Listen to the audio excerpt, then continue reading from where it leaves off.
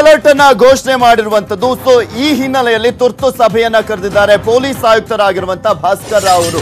ಹೆಚ್ಚುವರಿ ಪೊಲೀಸ್ ಆಯುಕ್ತ ಡಿಸಿಪಿಗಳ ಸಭೆಯನ್ನ ಕೂಡ ಕರೆಯಲಾಗಿರುವಂತದ್ದು ಬೆಂಗಳೂರು ನಗರದಲ್ಲಿ ಹೈ ಅಲರ್ಟ್ ಅನ್ನ ಘೋಷಣೆ ಮಾಡಲಾಗಿದೆ. ಸೊ ಹೀಗಾಗಿ ಬೆಂಗಳೂರಿನ ಪೊಲೀಸ್ ಕಮಿಷನರ್, ನೂತನ ಪೊಲೀಸ್ ಕಮಿಷನರ್ ಆಗಿರುವಂತಹ ಭಾಸ್ಕರ್ ರಾವ್ ಅವರು ಹೆಚ್ಚುವರಿ ಪೊಲೀಸ್ ಆಯುಕ್ತರು ಹಾಗೂ ಡಿಸಿಪಿಗಳ ಸಭೆಯನ್ನ ಕರೆದಿದ್ದಾರೆ. ಬೆಂಗಳೂರಿನಲ್ಲಿ ಅಲರ್ಟ್ ಸೂಚನೆಯ ಬೆನ್ನಲ್ಲೇ ಈ ಒಂದು ಸಭೆಯನ್ನ ಕರೆಯಲಾಗಿದೆ.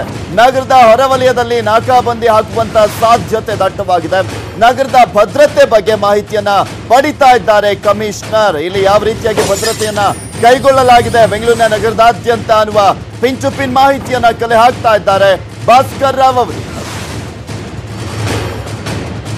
ಇನ್ನು ಸಭೆಯಲ್ಲಿ ಭಾಸ್ಕರ್ ರಾವ್ ಅವರು ಫುಲ್ ಗರಂ ಆಗಿದ್ದಾರಂತೆ. ಸಭೆಯಲ್ಲಿ ಹಿರಿಯ ಅಧಿಕಾರಿಗಳಿಗೆ ಕ್ಲಾಸ್ ತಗೊಂಡಿದ್ದಾರೆ. ಅಲರ್ಟ್ ಬಗ್ಗೆ ಮಾಹಿತಿಯನ್ನ ಗೌಪ್ಯವಾಗಿ ಇಡಬೇಕಾಗಿತ್ತು. ಯಾವ ಕಾರಣಕ್ಕೋಸ್ಕರ ಬಹಿರಂಗ ಮಾಡಿದ್ರಿ? ವಿನಾಕಾರಣ ನಾಗರಿಕರಲ್ಲಿ ಆತಂಕ ಉಂಟು ಮಾಡಿದ್ದೀರಾ? ಸಭೆಯಲ್ಲಿ ಹಿರಿಯ ಅಧಿಕಾರಿಗಳ ವಿರುದ್ಧ ಫುಲ್ ಗರಂ ಆಗಿದ್ದಾರೆ ಭಾಸ್ಕರ್ ರಾವ್. ಪ್ರಮುಖ ಪ್ರದೇಶದಲ್ಲಿ ಹದ್ದಿನ ಕಣ್ಣಿಡುವಂತೆ ಸೂಚನೆಯನ್ನ ಕೂಡ ಕೊಟ್ಟಿದ್ದಾರೆ. ಈ ಒಂದು ಸುದ್ದಿಯನ್ನ ಯಾವ ಕಾರಣಕ್ಕೋಸ್ಕರ ಲೀಕ್ ಮಾಡಿದ್ರಿ?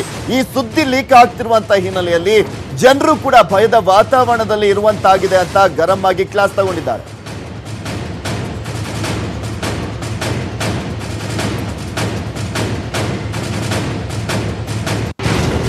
ಬೆಂಗಳೂರಿನಲ್ಲಿ ಯಾವ ರೀತಿಯಾಗಿದೆ ಭದ್ರತೆ ಅನ್ನೋದ್ರ ಬಗ್ಗೆ ಕಂಪ್ಲೀಟ್ ಡೀಟೇಲ್ಸ್ ಅನ್ನ ಕೊಡ್ತಾರೆ ನಮ್ಮ ಪ್ರತಿನಿಧಿಗಳು ನೇರ ಸಂಪರ್ಕದಲ್ಲಿ ಜಾಯ್ನ್ ಆಗ್ತಾ ಇದ್ದಾರೆ. ವಿಧಾನಸೌಧದಿಂದ Janardhan Hebbar, K R market ಇಂದ ಥಾಮಸ್, ಹಾಗೆ ಕಮಿಷನರ್ ಆಫೀಸ್ ಇಂದ ನಮ್ಮ ಪ್ರತಿನಿಧಿ ಗಂಗಾಧರ್ ನೇರ ಸಂಪರ್ಕದಲ್ಲಿದ್ದಾರೆ. ಮೊದಲನೇದಾಗಿ ವಿಧಾನಸೌಧದಲ್ಲಿ ಭದ್ರತೆ ಯಾವ ರೀತಿಯಾಗಿದೆ ಅನ್ನೋದ್ರ ಬಗ್ಗೆ ಮಾಹಿತಿಯನ್ನ ಪಡ್ಕೊಳ್ಳೋಣ. ಎಸ್ ಜನಾರ್ದನ್ ಹೆಬ್ಬಾರ್, ಯಾವಾಗ್ಲೂ ಕೂಡ ಹೈ ಅಲರ್ಟ್ ಅಂತ ಬಂದಂತಹ ಸಂದರ್ಭದಲ್ಲಿ ಮೊದಲು ತುಂಬಾ ಭದ್ರತೆಯನ್ನ ಕೈಗೊಳ್ಳೋದು ಅಂದ್ರೆ ವಿಧಾನಸೌಧಕ್ಕೆ ಯಾವ ರೀತಿಯಾಗಿದೆ ಅಲ್ಲಿ ಭದ್ರತೆ? Thank you. ಪೃಥ್ವಿ ನೀವು ಹೇಳಿದಾಗೆ ವಿಧಾನಸೌಧಕ್ಕೆ ಹೆಚ್ಚಿನ ಭದ್ರತೆಯನ್ನೇನೋ ಒದಗಿಸ್ತಾ ಇದ್ದಾರೆ. ಆದರೆ ಹೆಚ್ಚಿನ ಪೊಲೀಸನ್ನ ಇಲ್ಲಿ ಕೊಟ್ಟಿಲ್ಲ. ಇವತ್ತು ಪ್ರತಿನಿತ್ಯ ಏನು ಕೆಲಸ ಮಾಡ್ತಾ ಇದ್ರು? ಪೊಲೀಸರು ಅವರಿಂದನೇ ಭದ್ರತೆ ಕೆಲಸವನ್ನ ಮಾಡ್ತಾ ಇದ್ದಾರೆ. ಆದರೆ ಪ್ರತಿದಿನವಾಗಿ ವೆಹಿಕಲ್ನಲ್ಲಿ ಪಾಸ್ ತೋರಿಸಿದ್ರೆ ಒಳಗಡೆ ಬಿಡ್ತಾ ಆದರೆ ಇವತ್ತು ಹಾಗೆ ಮಾಡ್ತಾ ಇಲ್ಲ. ಪ್ರತಿಯೊಬ್ಬರನ್ನ ಡಿ ಕಾರ್ಡ್ ಚೆಕ್ ಮಾಡ್ತಾ ಇದ್ದಾರೆ. ವೆಹಿಕಲ್ನ ಡಿಕ್ಕಿ ಓಪನ್ ಮಾಡಿ ಚೆಕ್ ಮಾಡ್ತಾ ಇದ್ದಾರೆ. ವೆಹಿಕಲ್ ಕೆಳಗಡೆಯಲ್ಲಿ ಏನಾದ್ರು ಇದೆಯಾ ಅಂತ ಹೇಳಿ ಚೆಕ್ ಮಾಡ್ತಾ ಇದ್ದಾರೆ. ನಮ್ಮ ಹಿಂದ್ಗಡೆ ಇಲ್ಲಿ ಕಾಣ್ಬೋದು. ಇಲ್ಲಿ ಪ್ರತಿಯೊಬ್ಬರು ಸಹಿತ ಆ, ಬ- ಬಂದಂತ ಸಂದರ್ಭದಲ್ಲಿ ಮ್ಯಾನ್ಯಲ್ ಆಗಿ ಚೆಕ್ ಮಾಡ್ತಾ ಇದ್ದಾರೆ. ಸಾಮಾನ್ಯವಾಗಿ ಪ್ರತಿನಿತ್ಯ ಇಷ್ಟೊಂದು ತಪಾಸಣೆ ಇರಲ್ಲ.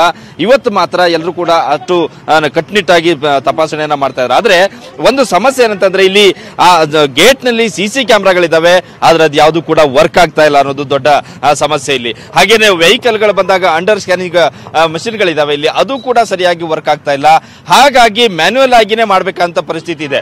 ವಿಧಾನಸೌಧ ಒಳಗಡೆಯಲ್ಲೂ ಸಹಿತ ಸ್ಕ್ಯಾನರ್ ಮಷಿನ್ ಗಳಿದಾವೆ ನಾಲ್ಕು ಗೇಟ್ನಲ್ಲಿ ಅಲ್ಲಿಯೂ ಕೂಡ ಸಮಸ್ಯೆ ಇದೆ. ಅದು ಕೂಡ ಸರಿಯಾಗಿ ವರ್ಕ್ ಆಗ್ತಾ ಇಲ್ಲ. ಹಾಗಾಗಿ ಪೊಲೀಸರಿಗೆ ದೊಡ್ಡ ಸಮಸ್ಯೆ ಏನಂತಂದ್ರೆ ಪ್ರತಿಯೊಂದು ವಾಹನವನ್ನು ಸಹಿತ ಆ, ಡಿಕ್ಕಿ ಓಪನ್ ಮಾಡಿ ಪ್ರತಿ ವೆಹಿಕಲ್ನ ನ ಕೆಳಗಡೆ ಏನಿದೆ, ವೆಹಿಕಲ್ ಒಳಗಡೆ ಯಾರಿದ್ದಾರೆ ಅವ್ರಲ್ಲಿ ಪಾಸ್ ಇದೆಯಾ, ಎಲ್ಲಿಂದ ಬಂದ ವೆಹಿಕಲ್, ಒಳಗಡೆ ಯಾರನ್ನ ಭೇಟಿ ಮಾಡ್ಲಿಕ್ಕೆ ಹೋಗ್ತಿದ್ದಾರೆ, ಹೀಗೆ ಪ್ರತಿಯೊಂದು ತಪಾಸಣೆ ಮಾಡಿ ಬಿಡ್ಬೇಕಂತ ಅನಿವಾರ್ಯತೆ ಇದೆ.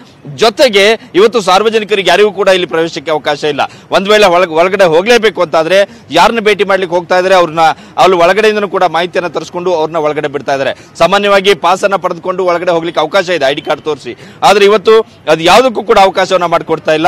ಕಟ್ನಿಟ್ಟಾಗಿ ಬಂದಂತ ಎಲ್ಲಾ ವೆಹಿಕಲ್ ಗಳನ್ನ ತಪಾಸಣೆ ಮಾಡಿ ಒಳಗಡೆ ಬಿಡ್ತಾ ಇರುವಂತಹ ಸನ್ನಿವೇಶ ಕಾಣ್ತಾ ಇದೆ. ಆದ್ರೆ ಹೆಚ್ಚುವರಿ ಪೊಲೀಸನ್ನ ಎಲ್ಲ ಹಾಕ್ತಾ ಇರೋದು ಕೂಡ ಸ್ವಲ್ಪ ಇಲ್ಲಿ ಒಂದು ಬೇಸರಕ್ಕೆ ಕಾರಣ ಆಗ್ತಾ ಇದೆ. ಯಾಕಂದ್ರೆ ವಿಧಾನಸೌಧ ಅಂತ ಪ್ಲೇಸ್ಗೆ ವಿಧಾನಸೌಧ, ವಿಕಾಸಸೌಧ ಇದೆ.